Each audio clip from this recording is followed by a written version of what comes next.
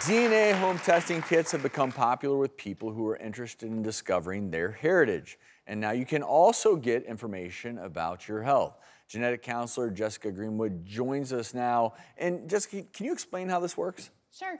So taking the test is simple. First, you answer a questionnaire about the health history of you and your family, then swab your cheek, send in the sample, and the MyHeritage DNA Health Plus Ancestry Test gives you health reports that tell you your genetic risk to develop or carry certain medical conditions. Mm -hmm. And this type of knowledge can potentially empower a person to make better health and lifestyle choices that, of course, may affect their future well-being. You know, and DNA testing isn't just valuable for individuals. Families also have many factors in common genes, environment, and lifestyle. So, together, all these factors can give insights into medical conditions that may run in a family. This can be good for people who are adopted and other people who might not know that much about their family history. It's really, really good information for you. And I also like the fact that it can provide important information to assist doctors in determining if additional testing is going to be needed. And choosing the right course of treatment, I mean, all of these things are going to be huge factors in helping patients prevent certain illnesses. And Dr. Ordon, you took the test. I and took the and test. other than obviously scoring very high in terms of genetics for studliness, what did you discover, buddy? My results show that I have a slightly decreased risk of developing both heart disease and type 2 diabetes. Wow, so, nice. you know, that's good news. But I, with the caveat, let's say that I was at moderate risk or even higher risk. I wanted to know that because I know there's things you can do lifestyle wise to deal with that. Jessica, can we talk about what someone can do if they find out that maybe they carry a genetic trait that puts them at risk for developing a condition or maybe their children? Sure.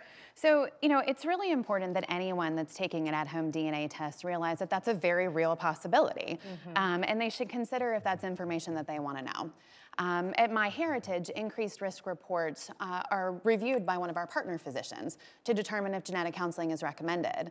And if so, a phone or video consultation with the genetic counselor is provided at no additional cost. Mm -hmm. That ensures that users have the support they need in order to interpret their results appropriately.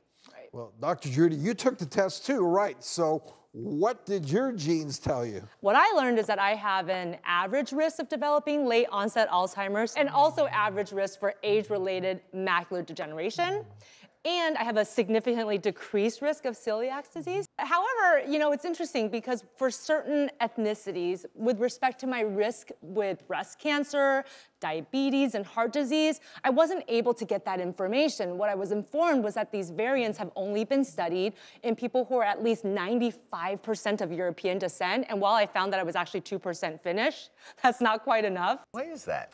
Yeah, so of the 27 reports that MyHeritage provides, those three are based on academic studies that, as you said, primarily have been done in people of European descent. Mm -hmm. Fortunately, additional studies in other ethnic groups are already ongoing, and we hope to provide those reports to more users in the very near future. So what makes this genetic test unique? So MyHeritage bridges consumers past, present, and future.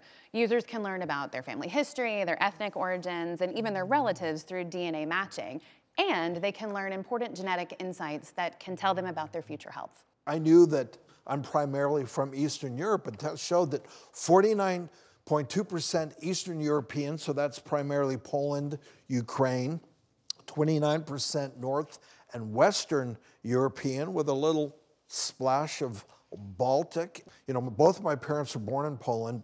My mother, what's now Ukraine, and I actually uh, had the chance to visit the grave for uh, General Ordon. Look oh, at that. I don't know if you can folks see that wow. name on that.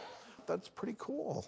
And you know, uh, when you find out where your ethnicity is from, it can be a little bit surprising. I found out that I am 59.4% North and West European. That didn't surprise me, but apparently 40.6% Scandinavian. Wow. I see that. Yeah. So Jessica, if someone wants to get the test, how do they do it? They can go to myheritage.com slash health. And the MyHeritage is actually providing an exclusive discount to the doctor's audience of 50% when they use the code DOCTORS at checkout.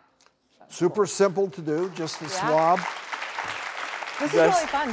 Thanks, thanks so much for coming here.